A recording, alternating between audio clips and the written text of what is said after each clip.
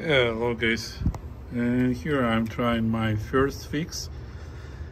I disconnected the base of the transistors, of the power transistors from the Hall sensors and make a composite transistor. When I'm added uh, small power transistors are in a chain, so between Hall sensor and the base of the uh, power transistors to see if I may make it switching better. If this would not help, so probably the only chance would be like to completely change the schematic. Let's see if this will work.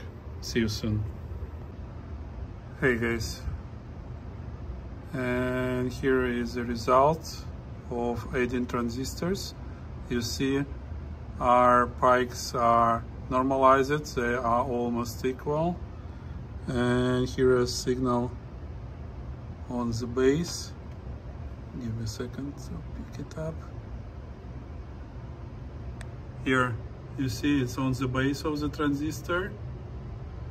It's after our complementary 2N2222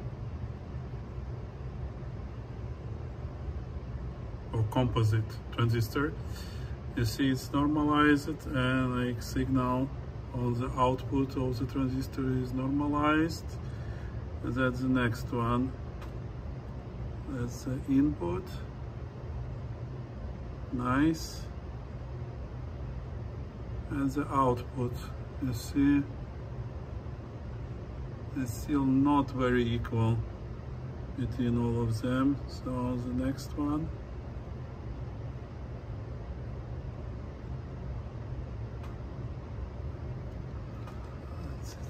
reach sorry. It's a base.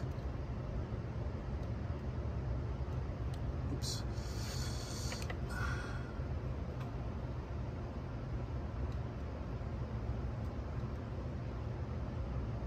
And the output to the coil, so okay, let me, and it rotates and it's pretty hard to stop now okay? Let me see let me connect audio board let's measure wow and flutter now. Here guys uh, i'm measuring wow and flutter after i put composite transistors. It's improved so from one percent we went down to 0 0.4 not 0 0.2 percent.